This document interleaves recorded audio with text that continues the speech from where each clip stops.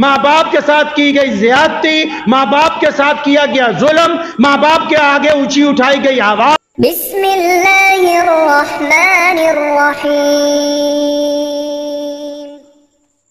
माँ बाप की नाफरमानी माँ बाप के ऊपर जुल्म माँ बाप के साथ बदतमीजी माँ बाप के साथ की गई ज्यादती माँ बाप के साथ किया गया जुल्म माँ बाप के आगे ऊँची उठाई गई आवाज़ माँ बाप पर नौज बिल्ला उठाया गया हाथ। अल्लाह करीम का वादा है कि ये देख लो दुनिया वालों, जिसने अपने माँ बाप के साथ जुल्म किया माँ बाप के साथ निशान लगा लो उन लोगों के ऊपर।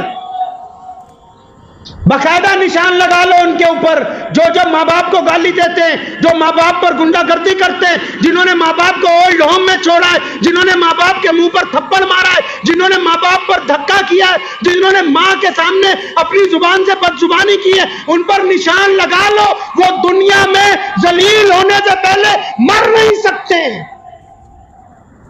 जलील होके मरेंगे दुनिया के अंदर।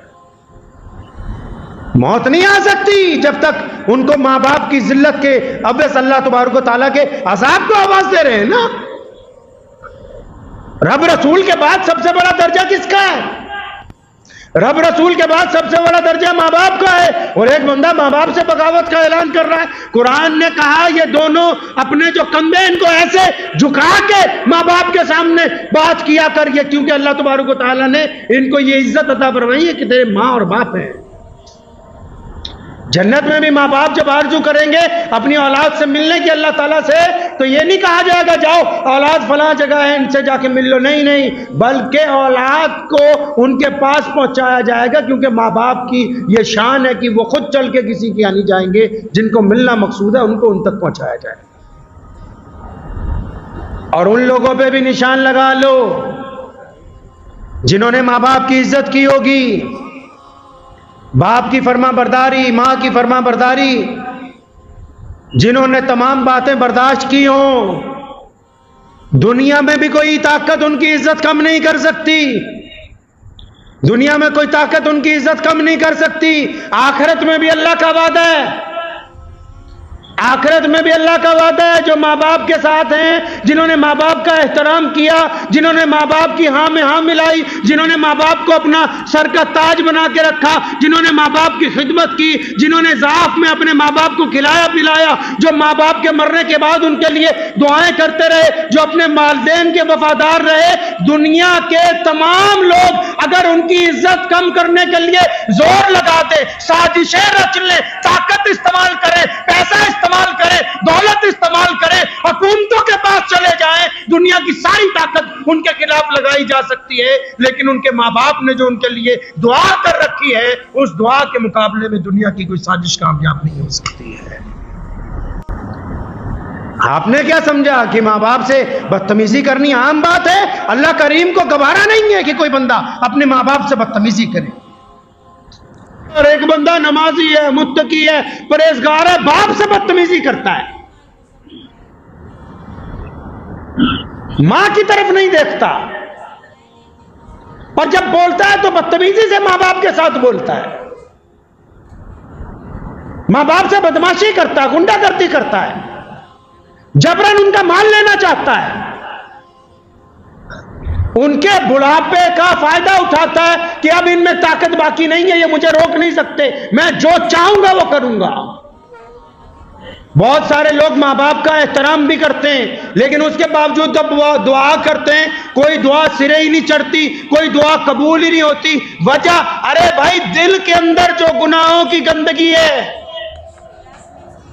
दिल में जो रंजिशें हैं, दिल में जो बुराई आपने भर रखी है दूसरों के मुतालिक।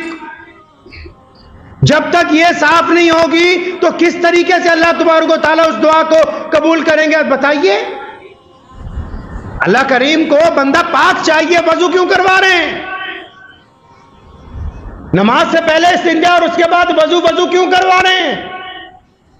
क्यों ये दोनों हाथ धुलवाए? क्यों मुँह में तीन दफ़ा पानी डाल के कुल्ली करवाई? क्यों के नाक की नरम हड्डी तक पानी पहुँचाया? क्यों इस चेहरे को मुकम्मल धुलवाया? क्यों इन बाजुओं को कोहनियों तक धुलवाया गया? क्यों सर पर गीला हाथ फिरवाया? क्यों गर्दन के पीछे तक उंगलियाँ फेरी गई? वजह क्या है कि दोनों पैरों को धुलवाया? रब चाहते मेरा बंदा जब मेरे आगे झुकेगा, जाहिरी तौर पर पाक हो जाए। फिर बंदे का भी काम है कि जब वो घर से चले वज़ू करके तो अपने दिल को मस्जिद तक लाता लाता बिल्कुल पाक कर ले। उसमें ना फिर किसी की बुराई हो, ना किसी के लिए कीना हो, ना किसी के लिए दुश्मनी हो, ताकि जब वो अपने रब के हजूर झुके तो फिर पाकी के साथ झुके और उसकी दुआ है, वो रद्द ना की जाए।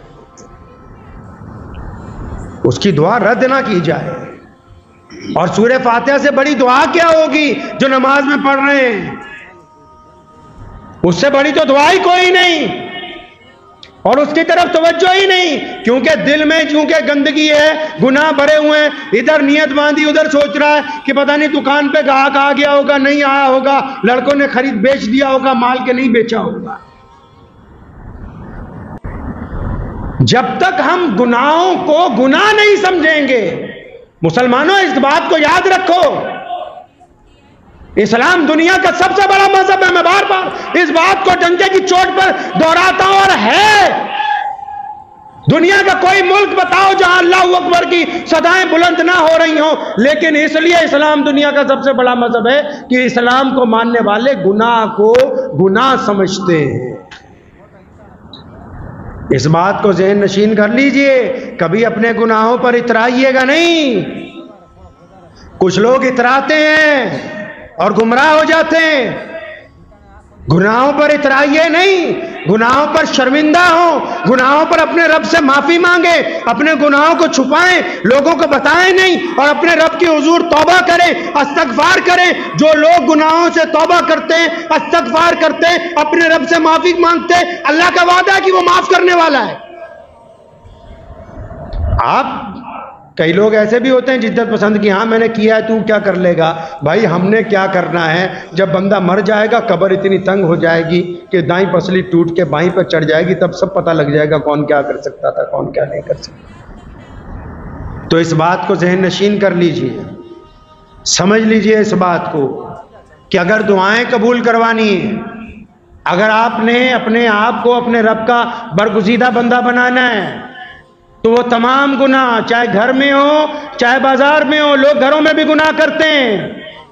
कोई बीवी से बदयामती के साथ गुफ्तगु करता है, कोई औलाद के साथ चोरी से गुफ्तगु करता है। सास बहू का रगड़ा फेरने के लिए तैयार है। नंद भावच का रगड़ा फेरने के लिए तैयार है। भाई भाई के साथ एक दूसरे की बदयामती करने के लिए तैयार हैं। गुनाह तो सिर्फ़ यही तो नहीं कि जो नमाज़ के दौरान हो जाएँगे, वो तमाम चीज़ें गुनाह हैं जो सारे बाज़ार आप करते हैं, या घर में करते हैं, या माशरे में करते हैं, या पड़ोसियों के साथ करते हैं, या स्कूल में करते हैं, या कॉलेज में करते हैं। रसुल्ला वसल्लम ने हुक्म फरमाया, हदीस का मफहूम है तोहमत मत लगाओ दूसरों पर। आज ऐसे लोग हैं, कुरान ने भी कहा कि पाकबाज औरतों पर तोहमत मत लगाओ, बाज आ जाओ। लेकिन खानदानों में ऐसे बदतरीन लोग मौजूद है जो दूसरों की बहन बेटियों का नाम इसलिए दूसरों के साथ जोड़ते हैं ताकि उनकी कहीं दाल नहीं गलती। इस वजह से वो दूसरे की बेटी को बदनाम करना चाहते और दूसरे की बेटियों पे इल्ज़ाम लगा के, दूसरों से ठगियाँ मार के, दूसरों से कारोबार में बेईमानी करके, दूसरों पर गंदी निकाह डाल के, दूसरों से जिना का इरादा करके, दूसरों से बेईमानी करने के बाद फिर वज़ू करके कहा कि मैं तो तो नमाज़ पढ़ने जा रहा हूँ, फजर की ज़ोर की, असर की, मगरिब की, ये नमाजें नमाजें नहीं है, ये सिर्फ़ दिखावा है। ये दिखावा है और कुछ नहीं है। तो इस बात को जहन नशीन कर लीजिए कि अपने दिल को बार बार पूछा कीजिए सारा दिन। बार बार इससे पूछा कीजिए कि फला तू जो गुनाह करने जा रहा है, ये तेरी क्वालिटी का नहीं है, ये तेरे म्यार का नहीं है, तुम मुसलमान हो। मुसलमान गुनाहों के लिए दुनिया में नहीं आता, लोगों के लिए, अच्छाइयों के लिए आता है। हम दूसरों को साथ में दिल से जोड़ने के लिए दुनिया में आए हैं, तोड़ने के लिए नहीं आए। दुआ कीजिए अल्लाह करीम इसके ऊपर अमल की तोफ़ी कता फरमाए। जजाकल्ला आपने बयान को पूरा सुना। बयान अच्छा लगा हो तो ज़रूर लाइक करिए कॉमेंट करिए और ज़्यादा से ज़्यादा लोगों तक शेयर